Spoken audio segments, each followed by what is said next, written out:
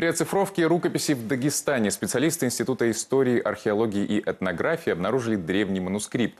Евангелие на грузинском языке было создано в VI веке. Саркар Магомедов продолжит.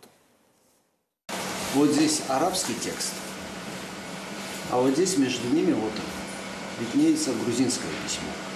О том, что вместо одного старинного манускрипта востоковеды получат сразу два, здесь, конечно, не думают. Обычный потрепанный томик не самый примечательный из тысячи других редких экземпляров, но под текстом арабских суфийских учений века XI ученые обнаружили более древние, еле заметные письмена.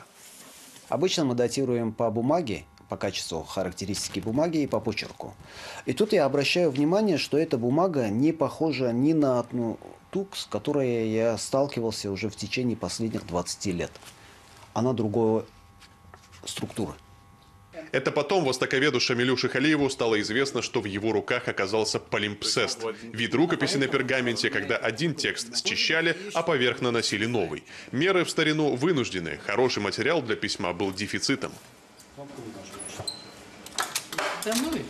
Находка уникальная сама по себе, ведь это первая подобная рукопись, найденная в Дагестане, но ценной она оказалась и для соседней Грузии.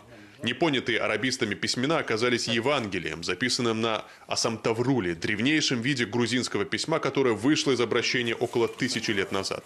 Труд, который теперь относят к VI веку, займет свое место в списке других грузинских памятников культуры, подобно этому храму в горах Дагестана. У нас были подтверждения о тесных контактах народов Дагестана с народами Закавказья. В частности, об этом свидетельствуют эпиграфические памятники, об этом свидетельствует археологический материал. И вот данная э, находка, данная рукопись, написанная на грузинском языке, еще более подтверждает эти наши предположения. Эта тайна, возможно, так и осталась бы не раскрытой, если бы не масштабная работа по оцифровке всех рукописей. Известно, что книга под порядковым номером 1012 была привезена в советские годы из лакского селения Убра.